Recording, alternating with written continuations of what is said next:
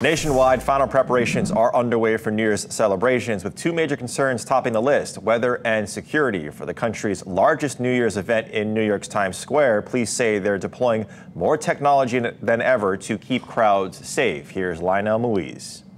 This morning, as we prepare to count down to 2026, three, two, one.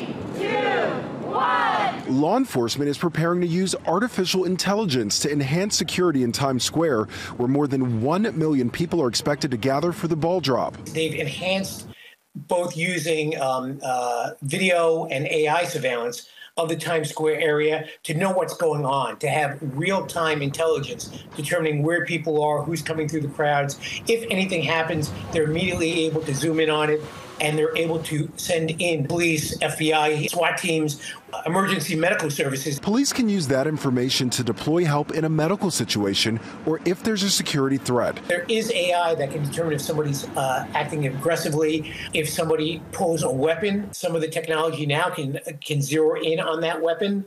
Uh, and determine, you know, is it a knife? Is it a, uh, a handgun? Is it a long gun? And new in Times Square this year, secondary screening. So we will have mobile screening teams walking around the pens, and if we see anything that looks suspicious, we will have teams in place to do appropriate screening. Meanwhile, in New Orleans, after last year's attack on New Year's morning that killed 14 people, National Guard troops will now be patrolling the French Quarter.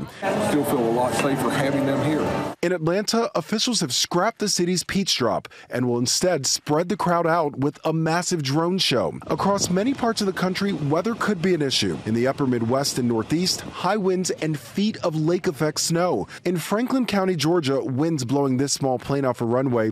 And in Southern California, winds hampering search efforts on Mount Baldy, where three hikers were found dead. Back in the Northeast, a plea for help after recent snow caused the roof of this New Jersey animal shelter to collapse, leaving 30 dogs displaced. The sheer amount of dogs that need to be fostered, we, we don't have that kind of uh, supplies on hand. Lionel Moise, ABC News, New York.